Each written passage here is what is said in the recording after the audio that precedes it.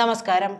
Malappuram S P അടക്കം ഉന്നത ഉദ്യോഗസ്ഥരെ മുഴുവൻ മാറ്റിയ അസാധാരണ അച്ചടക്ക നടപടിയിലും P V Anvar M L A അടങ്ങില്ല. മുഖ്യമന്ത്രിയുടെ political secretary Sasi A D G P M R Ajith Kumar എന്നിവരെ ലക്ഷ്യമിട്ട പോരാട്ടം തുടരുമെന്നാണ് അൻവറിന്റെ പ്രഖ്യാപനം. പോലീസ് ഉദ്യോഗസ്ഥർക്കെതിരായ നടപടിയിൽ അൻവറിൽ നിന്ന് താൽക്കാലികമായ ഒരു വെടിനിർത്തൽ സർക്കാരും സി പി എമ്മും ഒക്കെ പ്രതീക്ഷിച്ചിരുന്നു. എന്നാൽ ആ പ്രതീക്ഷയെല്ലാം തെറ്റിച്ച് അതിരൂക്ഷമായ ആരോപണങ്ങളാണ് അൻവർ ഉന്നയിച്ചത്. വിശ്വസിച്ച് ഏൽപ്പിച്ചവർ മുഖ്യമന്ത്രിയെ ചതിച്ചെന്ന അൻവറിന്റെ ആരോപണം ശശിയെ മാത്രം ലക്ഷ്യമിട്ടുള്ളതാണ്.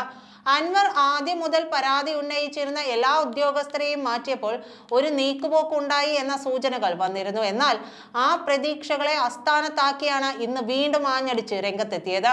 മുഖ്യമന്ത്രിയെ നേരിട്ട് ആക്രമിക്കുന്നില്ലെങ്കിലും ഓഫീസിനെയും പോലീസിലെ ആർ എസ് എസ് വൽക്കരണം തുടങ്ങിയ ആരോപണങ്ങൾ ഉന്നയിക്കുമ്പോൾ അത് പിണറായി വിജയന്റെ നേർക്ക് തന്നെയാണ് എത്തുന്നത്. പോലീസിൽ ആഭ്യന്തരം ഭരിക്കുന്ന മുഖ്യമന്ത്രിക്ക് ഒരു സ്വാധീനവും ഇല്ലേ എന്ന ചോദ്യം അൻവറിന്റെ ആരോപണങ്ങൾ ഉയർത്തുന്നുണ്ട്. അൻവർ ഉന്നയിച്ച തൃശൂർ പൂരം കലക്കിയെന്ന ആരോപണത്തിനൊപ്പം തന്നെയാണ് ആർ എസ് എസ് നേതാക്കളുമായി എ ഡി ജി പി നടത്തിയ കൂടിക്കാഴ്ചയുടെ വിവരങ്ങളും പുറത്തു വന്നത്.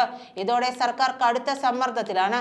ഭരണമുന്നണിയിലെ തന്നെ എം എൽ എ ആരോപണം ഉന്നയിക്കുന്നതിലെ രാഷ്ട്രീയ തിരിച്ചടി കൂടി മനസ്സിലാക്കിയാണ് മലപ്പുറം ജില്ലയിലെ ഉദ്യോഗസ്ഥരെ മാറ്റിയത്. എന്നാൽ ഓരോ ദിവസവും പോലീസ് ആർ എസ് എസിനായി നടത്തിയ അട്ടിമറികൾ തുറന്നുവിടുകയാണ് അൻവർ.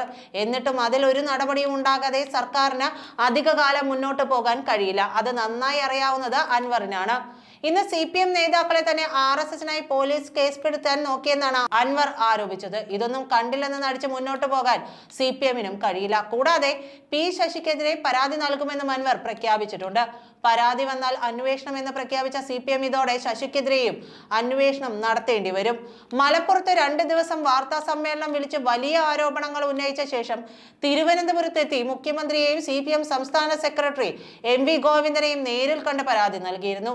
പിന്നാലെ തന്റെ ജോലി കഴിഞ്ഞെന്നും ഇനി താനൊന്നും പറയില്ലെന്നുമായിരുന്നു അൻവർ പ്രഖ്യാപിച്ചത്. എന്നാൽ മലപ്പുറത്ത് മടങ്ങിയതോടെ ഇതിൽ മാറ്റം വന്നു.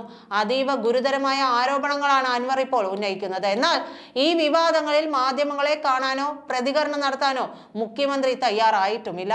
നന്ദി.